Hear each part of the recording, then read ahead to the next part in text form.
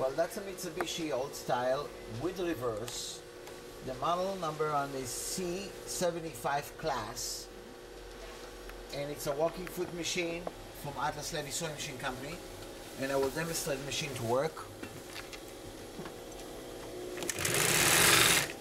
As you see, your stitches, big stitch, and also small stitch just by pushing a button and turning your wheel back and you can change your stitches. Very smooth machine very solid machine and very quiet as you see.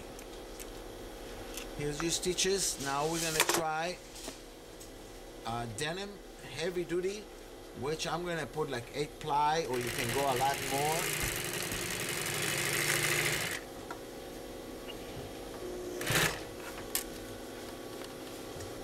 There you go.